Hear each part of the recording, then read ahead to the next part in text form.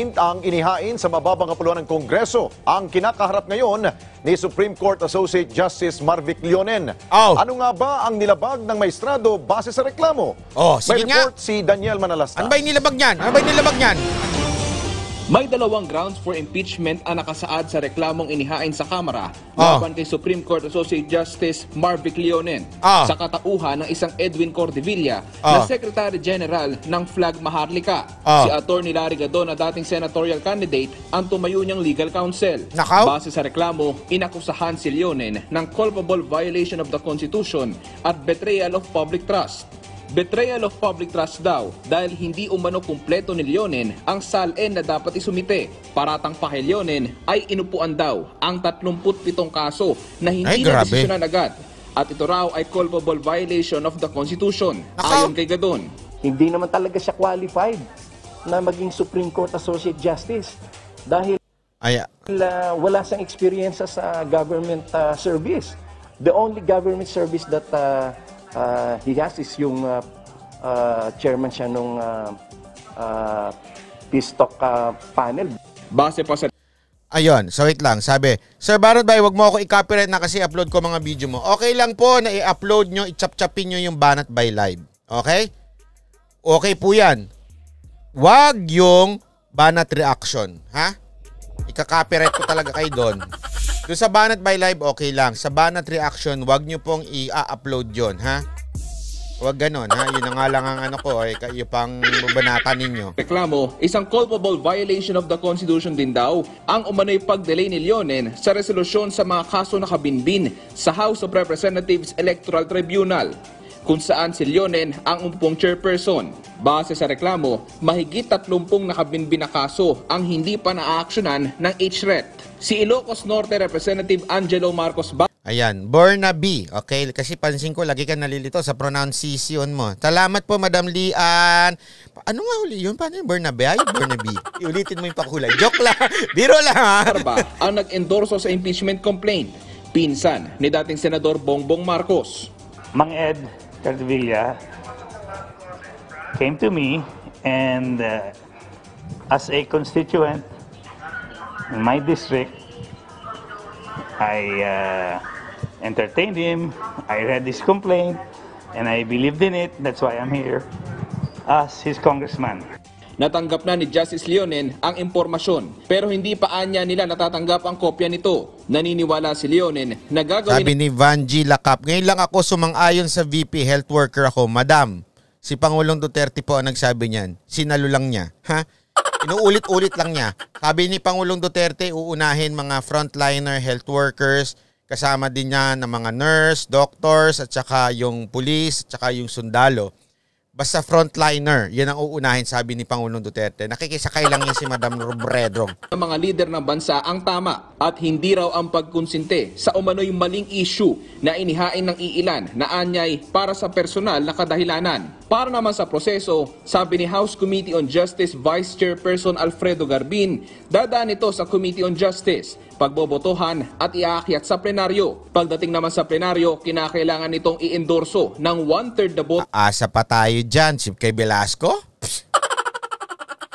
Aasa tayo na mag advance siyang kasi yan si Leonin, ha? yan si Leonin, ha? arte-arte ng apelido.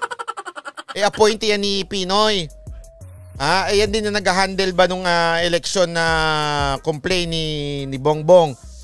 Marcos, wala namang mangyayari dyan. Alam mo kung bakit? Eh, sino, sino ba ang nakaupo dyan? ng miyembro ng mababang kapulungan.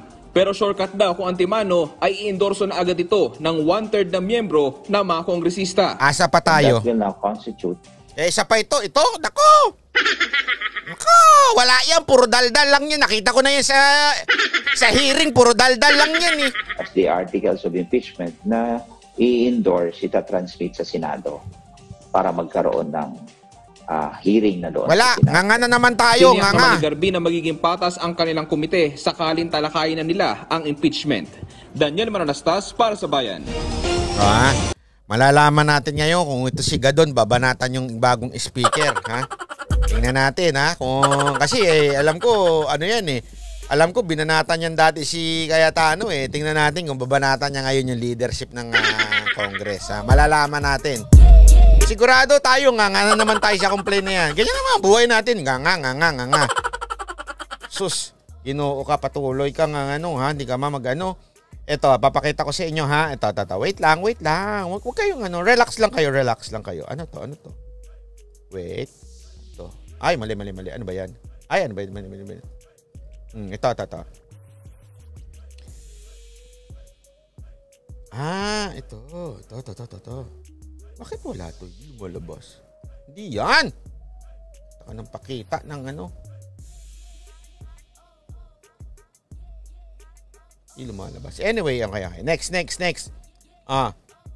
Ito, ito, ito. Malupit tong balita na to. Gusto. Inalmahan ng mga motorista maging ni Valenzuela City Mayor Rex Gatchalian ang mabigat na daloy ng trapiko sa North Luzon Expressway Toll Plaza. Oy! At ayon pa kay Mayor Gatchalian, hindi na nito kayang mag-antay pa na labilimang araw para masolusyonan ng pamunuan ng NLEX ang aberya sa RFID. May ulat si Patrick De Jesus. Live, Patrick!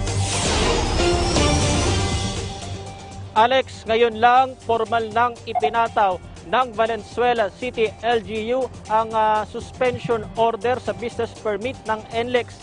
Yan ay matapos na mabigong sumagot ng NLEX sa 5.01pm deadline Kasi naman tong NLEX, ang tagal-tagal na yan. Di ba? Ilang buwan na atang issue yan hanggang ngayon di pa maayos. na ibinigay sa kanila ayon kay Mayor Rex Gatchalian. Sa drone footage na ito na ipinakita ni Valenzuela City Mayor Rex Grabe, Gatchalian, kita ang mahabang pila ng mga Ah, sasakyan sa kabuisit northbound lane ng NLEX Mindanao Avenue Toll Plaza. Sus. Sa gitna na rin ito ng implementasyon ng cashless system sa expressway. Ang Alinsunod cashless pa. Bakit dati maayos? Eto ha, kaya nga nag-cashless para mas bumilis eh, di ba? Bakit kaya nagkaganyan-ganyan yan? Hindi ko talaga maintindihan. sa utos ng DOTR. Inikutan ng aming team ang lugar at nananatili pa rin ang mabigat na trapiko bago makalagpas ng toll Grabe, gate. oh. Ang bagay na ito ang kinainisan ni Gatchalian dahil mismo ang Valenzuela City ang naapektuhan. Matagal na raw niyang sinabi sa pamunuan ng NLEX sa mga problema sa RFID, gaya ng mga pagkakataon na hindi umano nadedetect kaagad ng mga sensor. Kaya't banta niya sa NLEX, toll holiday kung hindi ito maayos ora mismo. Tinanggihan din ni Gatchalian ang apela ng NLEX management na bigyan sila ng labing limang araw upang solusyonan ang problema sa RFID. Masyado na raw kasi itong matagal, sabi ng alkalde.